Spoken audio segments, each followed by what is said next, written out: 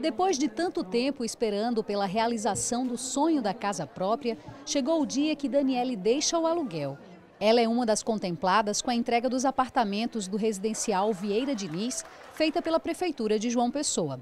Felicidade, né? Porque assim, não só eu, como todos os contemplados, já vinha lutando há muito tempo a, a procura de uma moradia e realmente a prefeitura e, e, o nosso a prefeitura e a Caixa Econômica já nos proporcionando nesse momento. Para o prefeito Luciano Cartacho, contribuir com essa realização é um dever que a prefeitura vem cumprindo na busca de melhoria da qualidade de vida da população.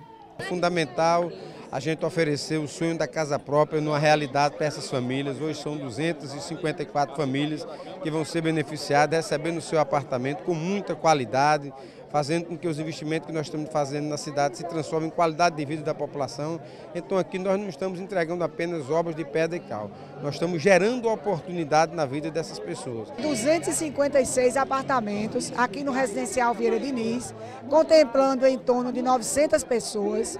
Um empreendimento, como vocês estão vendo aqui, com apartamento com sala, cozinha, banheiro, dois quartos, com cerâmica em todo o apartamento. A Câmara Municipal de João Pessoa esteve presente na pessoa do presidente da casa, vereador Marcos Vinícius, e uma comissão de parlamentares. Uma das coisas mais importantes é a moradia né, da cidadania às pessoas. E hoje nós temos um conjunto de obras, não é só a moradia, mas uma escola próxima, né, é uma academia de saúde, é, é, é uma creche. Então tudo isso humaniza e dá é, cidadania, dá respeito não é, à família. Autoridades como secretários da gestão municipal, o vice-prefeito da capital e deputados estaduais e federais também compareceram ao evento. Nos últimos quatro anos, a Prefeitura de João Pessoa avançou muito na política habitacional.